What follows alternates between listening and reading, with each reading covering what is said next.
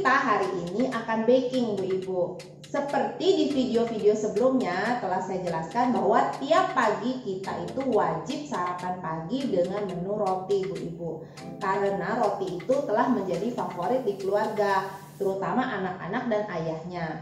Nah, Bu Ibu, untuk itu saya selalu harus memikirkan ide-ide kreatif dalam bervariasi roti, Bu Ibu. Kali ini sesuai permintaan Koko Michael, kita akan membuat roti yang berbahan dasar susu.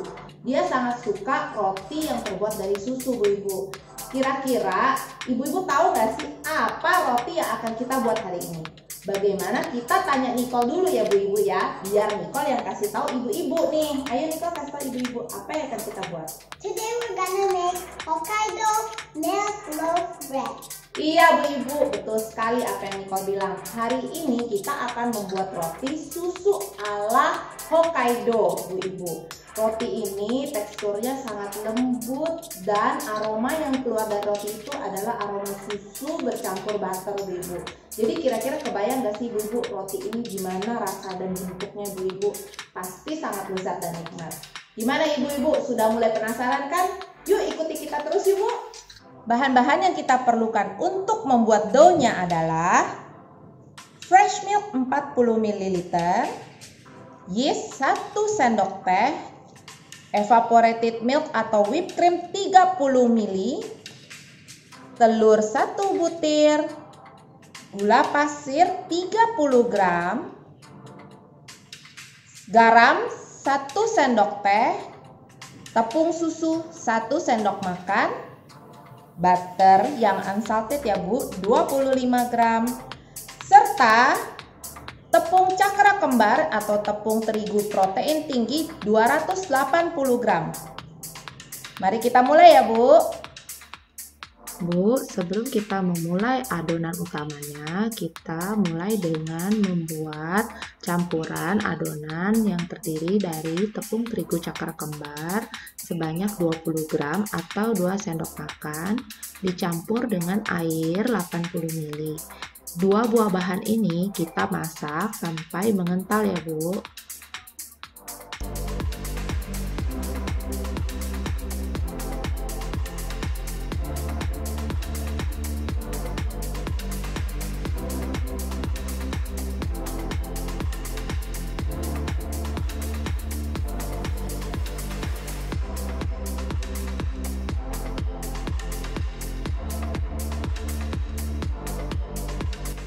Adonannya kita aduk-aduk sampai mengental seperti ini ya Bu. Kemudian kita segera angkat dan sisihkan untuk menghindari adonannya menjadi gosong. Setelah kita angkat adonannya kita aduk kembali sebentar. Kemudian kita diamkan sambil ditutup ya Bu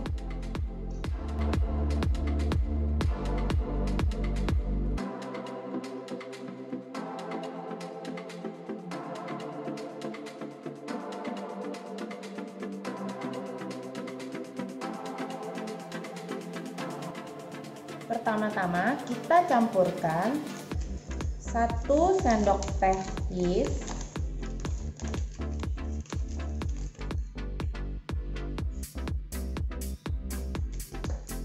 Kemudian susunya fresh milk.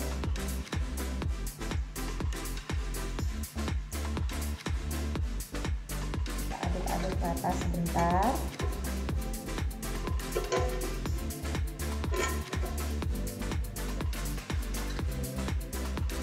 Lalu kita campurkan telurnya.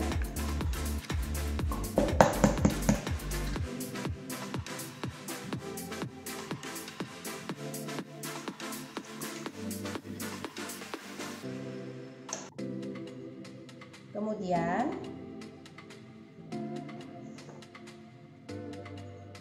kita campurkan evaporated milknya ya.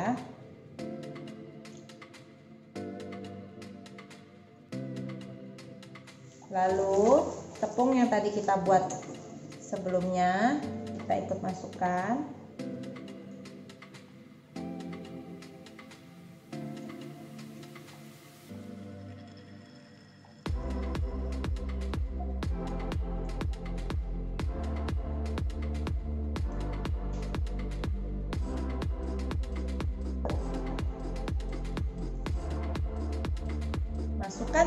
Terigu cakra kembarnya juga.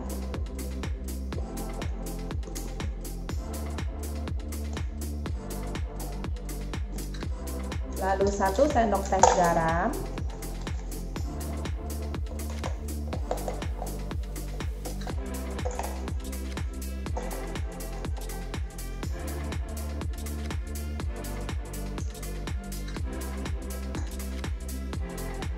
gula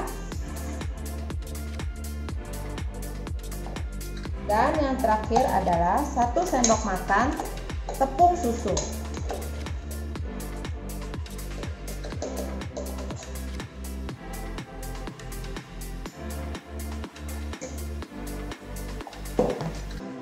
Nah, selesai adonannya siap kita masukkan ke bread maker.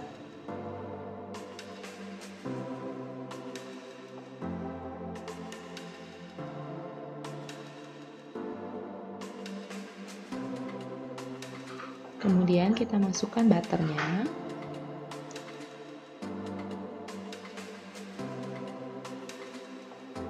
Adonannya sudah jadi.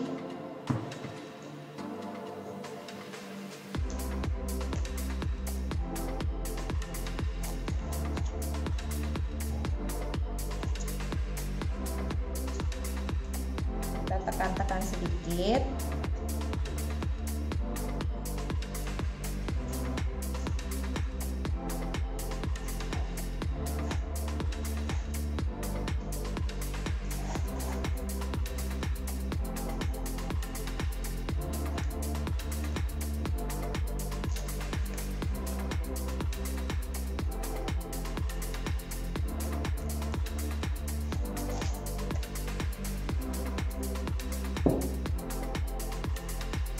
Kemudian adonannya kita biarkan istirahat selama satu jam ya Bu.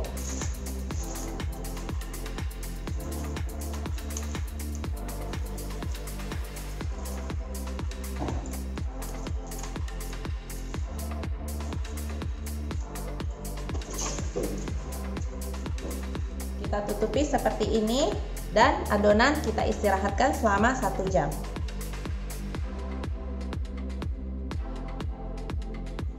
Nah, sudah satu jam, Bu. Sekarang kita keluarkan adonannya ya. Nah, adonannya sudah mengembang.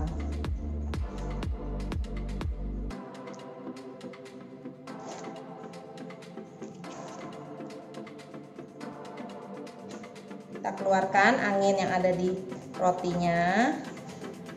Kemudian kita bagi empat ya, Bu.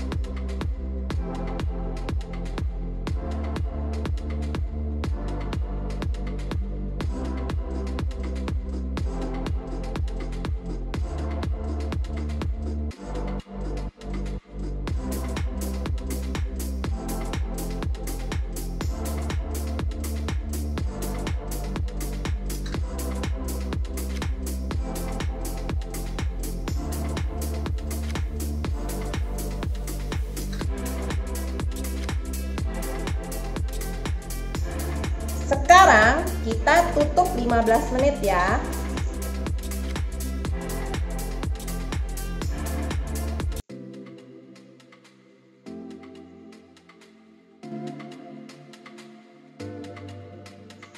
Sekarang sudah 15 menit. Adonannya akan kita bentuk ya, Bu.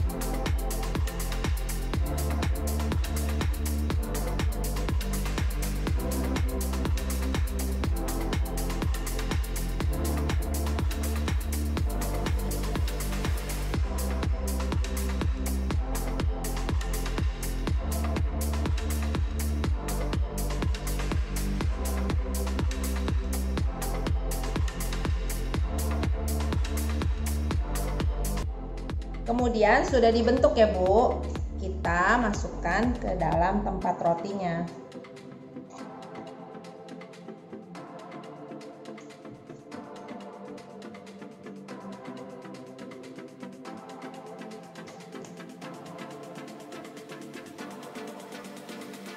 Seperti ini. Kita tutupi dan diamkan lagi satu jam ya Bu. Sampai rotinya mengembang.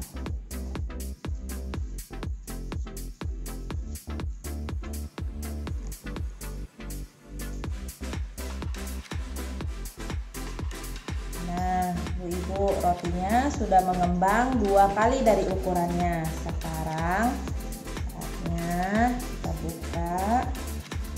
Dan saatnya untuk mendekor ya Bu roti kita.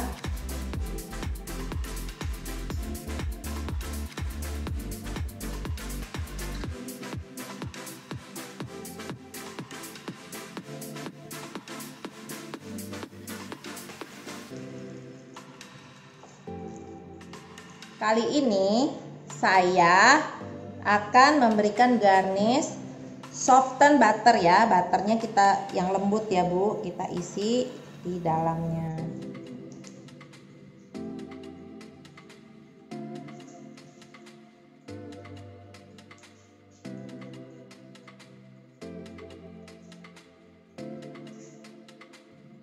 Nah, seperti ini ya Bu hasilnya.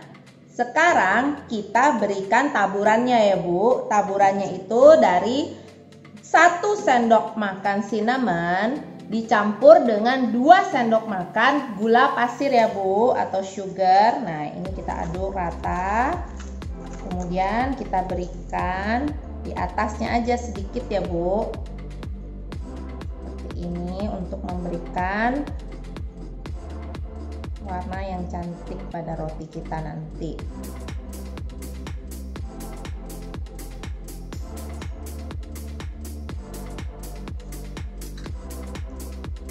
Nah, selesai dan siap kita panggang di suhu 180 derajat selama 20 sampai 30 menit. Ibu-ibu, sebelum kita panggang, kita harus panaskan ovennya terlebih dahulu ya. Jangan lupa ibu-ibu. Ya, Bu, kita masukkan.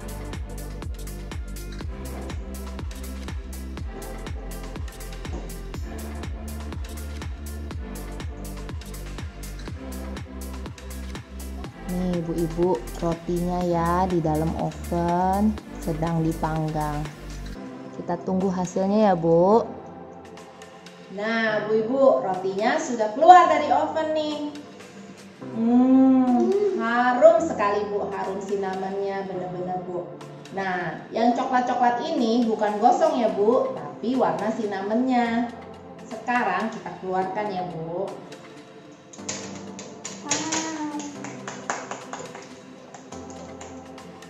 Nah, ini rotinya. Sangat lembut, Bu. Nah, harum sekali.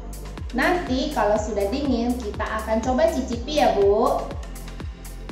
Nah, Bu Ibu lihat rotinya matang dengan sempurna. Tuh bawahnya tuh Bu Ibu. Ya kan? Nah, ini atasnya berwarna coklat tua seperti yang tadi saya bilang. Itu bukan gosong ya Bu, tapi warna cinnamonnya. Nah, rotinya sangat lembut. Tuh. Tuh. Bagus kan Bu? Nah, wangi sekali Bu. Hmm. Nah, Bu Ibu, rotinya sudah dingin nih. Sekarang waktunya kita cicipi ya. Nih, Bu Ibu. Rasanya lembut sekali rotinya, Bu.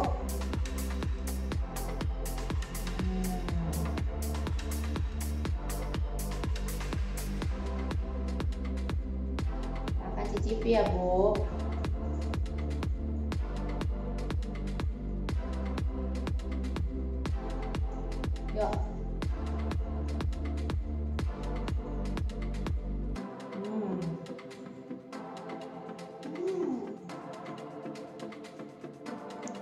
Rotinya lembut, lihat teksturnya Bu. Nah, rotinya sangat bertekstur, lembut, wangi cinnamon dan susunya bercampur menjadi satu. Enak sekali. Paling cocok dimakan dengan susu yang hangat, Bu Ibu. Nah, Bu Ibu, resep ini praktis, mudah, dan simple ya Bu. Terutama sangat cocok untuk anak-anak Bu, karena tanpa pengawet dan bahan buatan lainnya. Nah, Bu Ibu, sebelum kita menyudahi perjumpaan kita kali ini, Nicole ada yang ingin disampaikan untuk Ibu-ibu nih. Ayo. Hai ibu-ibu, jangan lupa like, subscribe, dan komen di channel kita. Terima kasih. Nah, ibu-ibu sudah seperti yang Niko katakan tadi, jangan lupa ya bu-ibu di komen, di like dan di subscribe ibu-ibu ya. Terima kasih atas perhatian ibu-ibu kali ini. Dah. Make a cup of coffee.